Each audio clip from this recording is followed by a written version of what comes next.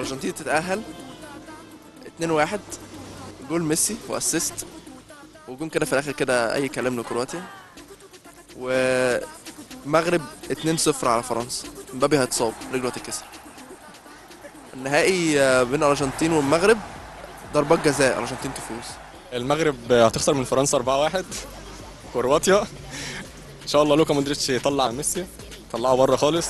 عشان لوكا مودريتش تكسبها ويبقى ختمها كده حلو. كرواتيا تكسب الأرجنتين ضربات جزاء وفرنسا والمغرب 2-1 لفرنسا والنهائي كرواتيا وفرنسا 1-0 لفرنسا.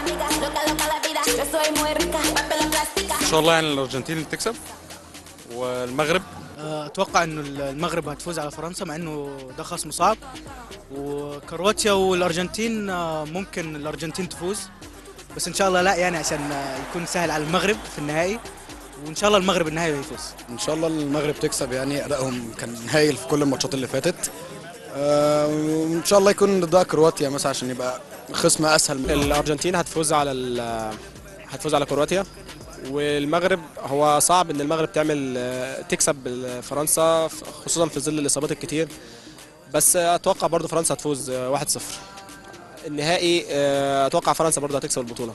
ولو إن الأرجنتين عندها دافع إن دي آخر بطولة لميسي وكده بس آه، صعب الأرجنتين تفوز على فرنسا.